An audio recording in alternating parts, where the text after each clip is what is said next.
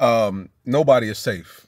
In the last seven days, seven Mopars have been stolen in Charlotte, North Carolina. Uh, this is just my city. Not even talking about your city, your state. Just in my city, seven Mopars have been stolen. Chargers, Challengers, uh, two Jeeps. One was a Trackhawk, one was an SRT, and a Durango Hellcat stolen. Um, it's gonna be a bad summer for Mopars, man. Somebody in my comments uh said you either need to garage them or sell them. You know what I mean? Like if you can't protect your car somehow or another, you need to sell it.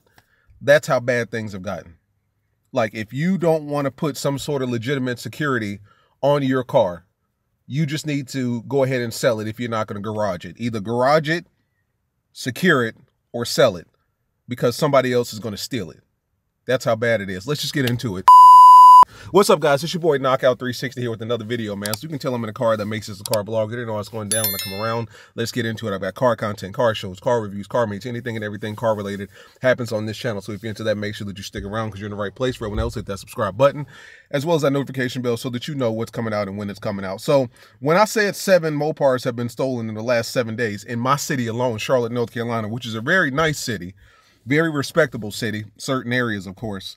I'm not kidding. Um, people have been DMing me for the last probably month, maybe month and a half. Every other day, every day, every week. Be on the lookout for my car. Be on the lookout for this car. This car was stolen. Somebody's Trackhawk was stolen from the damn Charlotte Douglas Airport in the employee parking lot. That's how bad these these animals want our cars.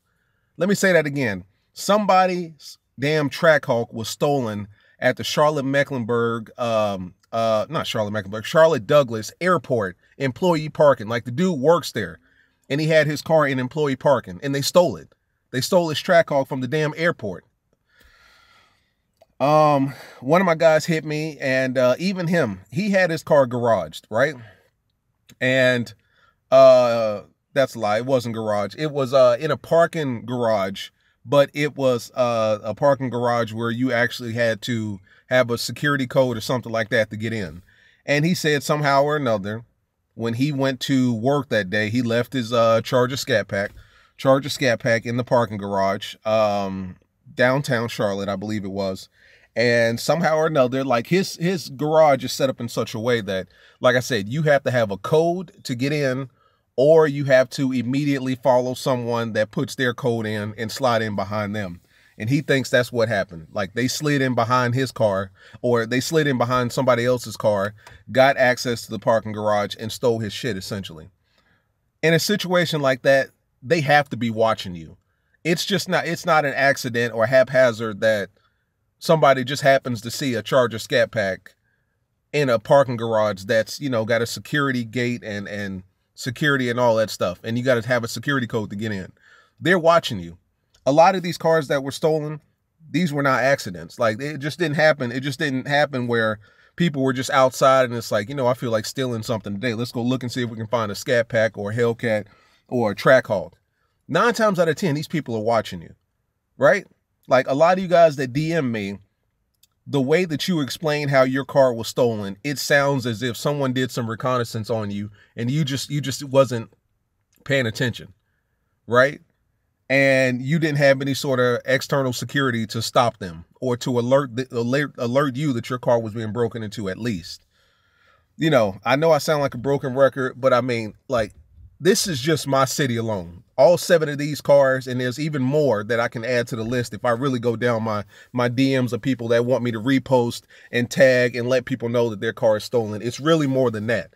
But in the last seven days, probably the last week, week and a half, all seven of these Mopars have been stolen. We're looking at Hellcats, looking at Scat Packs, Durango uh, Hellcats, Trackhawks, all that stuff. Now, one thing that uh, somebody in my chat mentioned, when you're getting your car detailed, a lot of detailers like to show their work off, and that's perfectly fine. A lot of detailers like to show their work off and, um, you know, take a video or a picture or something like that.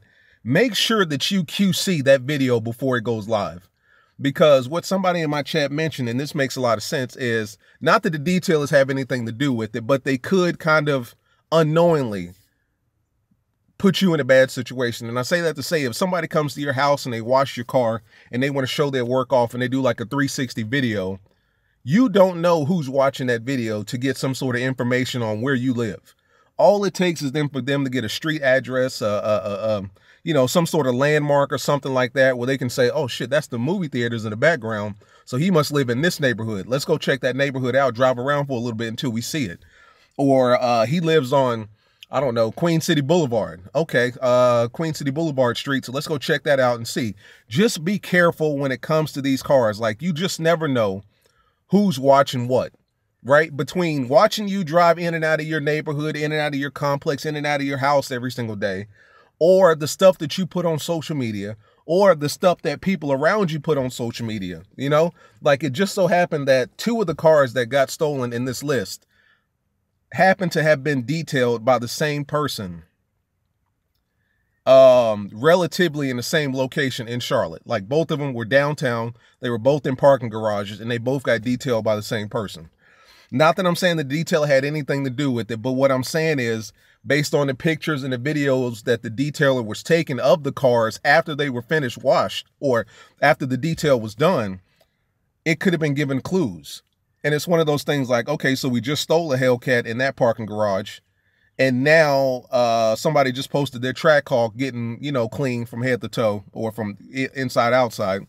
And this looks like the same parking garage. Let's go hit it again and see if that track Trackhawk is there you just never know what people are watching. Like you think that you're doing somebody a service by letting them film your car or letting them, you know, video your car or whatever the case may be, or take a picture of it for the gram so that they can get their numbers up.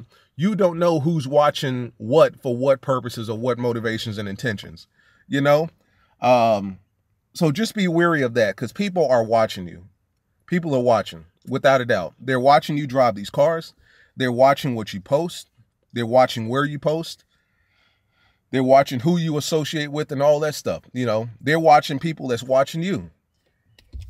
You know, because a lot of these cars aren't just stolen accidentally. Like none of these cars, to my understanding, were just stolen at a McDonald's parking lot or a cookout parking lot or a mall parking lot. That happens for sure.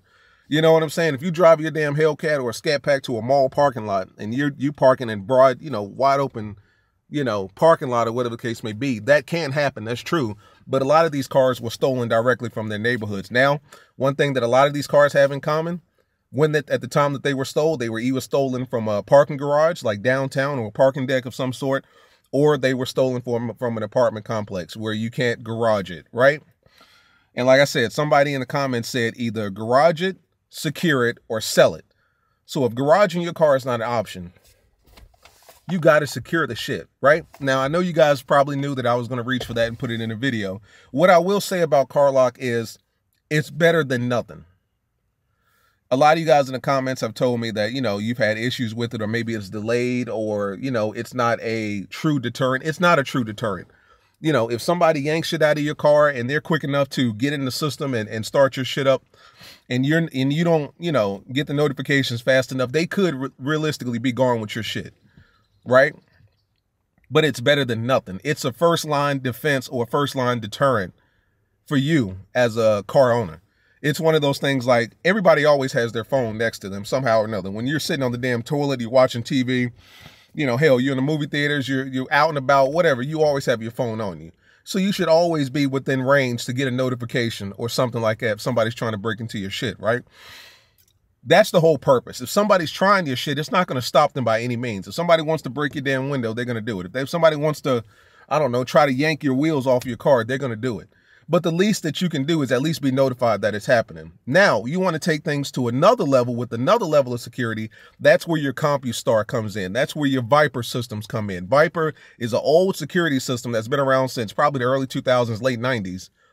Motherfuckers have been using Viper since I mean, people was driving uh uh goddamn Ford Mustang 5.0s with the the you know the the retractable roofs back in the day. You know what I'm saying? The old school 5.0s that people had on uh if you ever seen that movie Don't Be a Menace or uh is it Don't Be a Menace? Menace to Society with the 5.0 that had the gold Daytons on the side or whatever. Like people have been had they've had Viper security on their car since then. It's tried true and it's legit. I've got hella shops in Charlotte, North Carolina that install these securities. Now, you guys, I tell you guys a lot about my car, but there's a lot you don't know that I've never told you and I'm never going to tell you as far as security is concerned. And that's obviously just for my safety. But start with CarLock. Start with something simple, you know, 49 bucks discount, whatever the case may be. Set aside 50 bucks, start with CarLock. Use my code knockout360, get a discount even on that, even on that 50. It won't even be a flat 50. Start with CarLock. If you think CarLock is enough as far as car security is concerned, stop there, you're good. If CarLock is not enough, that's when you want to have your car professionally secure. Take your car to uh like in Charlotte, we've got this place called Auto Toys. Shout out to uh Tunes Car Stereo, which is in Concord. Andrew, he's a solid dude. Go and talk to him. That's Tunes Car Stereo. And his name is Andrew. Tell him Knockout 360 sent you. Uh, like I said, there's a lot on my car that I don't talk about and I'm not going to talk about, but trust me when I say my car is secured. Tunes Car Stereo uh, in Concord, North Carolina. Auto Toys, they do car security. Like I said, start small, start cheap. If you want to go that route, start with the CarLock. If you look at your environment and your situation and you say, my car is going to get broken into. Like you just know it for a fact. Maybe you live in that neighborhood. Maybe you surround yourself with that kind of people and you just know for a fact it's not the if, it's the when. That's when you want to upgrade and get yourself a legitimate car security system, you know, a CompuStar or a Viper, something like that. But take it to another level because at the end of the day, I mean, everybody wants to get pipes, everybody wants to get decals, everybody wants to get tint. I dig all that. I understand all that. I got all that shit on my car. But what's the purpose of having that shit if you wake up one morning and your car isn't even there? There's priorities. If you want to own these cars, the sad part about it is you kind of have to prioritize certain things. The first thing that you should prioritize is your car security. If you can't garage it and you ain't going to sell it, you need to secure it. And that's where CompuStar comes in. CompuStar's got the T12, T13 systems right now. That's the hottest things on the street. Uh, Viper, I don't know about Viper, but I know that Viper is legitimate. I just don't know any specific uh, systems that they offer. But you got to secure it first. You got to lock your shit down first, then worry about the other stuff. Because if you don't worry about what's first first or take care of business first, you won't have a car to, to cut the pipes off, cut, the pipes off up. You know what I'm saying? In the video that I just showed you there, like that was a Hellcat that was stolen. And as you can see, he's running from the police and he fucked that car all up. You know what I'm saying? So bad. So by the time the owner gets his car back, it's going to be fucked up. It's probably wrecked. Truth be told, you know? And it's one of those things like if you had just taken 500 to a $1,000 and secured it, put some sort of security on it, you wouldn't have had to worry about that. Worse come to worse, when it comes to security systems, worse come to worse, you may leave with a broken window. And if you own a Charger, Challenger, a Mopar of some sort, you shouldn't have anything in your car to begin with, especially if your car is parked outside. Don't leave anything in your damn car overnight, like period. I lock my, um, I don't park my car outside overnight, but I lock my glove compartment every single time I park my car. Even when I go to the gym, to my to my job, I always lock the glove compartment. You know, it's just a habit at this point. So never leave anything inside your car. But worst come to worst, you might leave with a broken window because obviously nobody can stop somebody from breaking a window. But CompuStar T12 and the T13 systems have window detection. So even if they break it, the alarm goes off and they scatter. Right? Motherfuckers don't want to get shot. That's one thing that's true. That's a truism. Like people want to steal cars but they don't want to get shot or shot at in the process of doing that, you know? And I'm just saying that to say, once somebody breaks your window and a notification goes off or the car alarm goes off, they're not just going to stand there and keep doing what they do. If the alarm is going off, they're running. So it's one of those things like worst come to worst, you got away with the broken window. I don't know how much windows cost on our cars because I've never had one broken. But that's the worst case scenario is that you walk away with a broken window, which is better than your car being stolen. And now you got to replace that whole goddamn thing. So, like, guys, I'm telling you, man, and I know I sound like a broken record, but I mean, apparently my city is getting hotter as the weather is getting hotter. It's getting hotter for owning these cars because literally in the last week, seven Mopars have been stolen. I'm getting flooded with DMs every other day. Hey, can you repost? Can you repost? My car got stolen. My homeboy's car got stolen. They stole the shit from the airport. I'm tired of it, man. Before you guys go cutting the pipes, decals, all that other stuff, secure your shit. Start with CarLock. Like I said, if you don't want to go and drop a $1,000 on a CompuStar or a Viper system, I get it. I get it. You know what I'm saying? That's money that a lot of people could put other places. I get that. Start with CarLock, 50 bucks. You know what I'm saying? 50 bucks, you get notifications everywhere. It's a all, it's a 24-7 GPS. That's CarLock right now. Literally right now as I'm talking. Sending me a notification. But one o'clock. Um, even if you, it's a all the 24-7 GPS, you can tell your battery percentage. I don't know why that would be important to you, but it does. It's a, a, log keeper, so it keeps the log of where your car has been. So if you let somebody drive your shit, you can always see where it was and where it wasn't. And it's a security device, you know, which is what it's built for, is security. So if you don't want to go drop 500 to 1,000 on a CompuStar or a Viper system, I understand that. I understand that for real, I do. But you need something. Because literally having these cars with no sort of security is like – being out here just naked with no clothes, nothing to protect yourself. You're just out here naked. That's literally how you're you're you're moving right now. You're moving stupid, you're moving wild and reckless, and you're moving naked because you got nothing. You guys know I push CarLock heavy, but like I've told you, CarLock is not perfect. And so for you guys that have the money and have the ability, you can have CarLock as well, but put something on top of it. CompuStar Viper, some sort of redundant security that's actually going to kill the engine and stop them from taking your car. CarLock's not going to do that. CarLock will let you know, but it's not going to stop them. That's where CompuStar and Viper come into place, or some of other, uh, some sort of other security.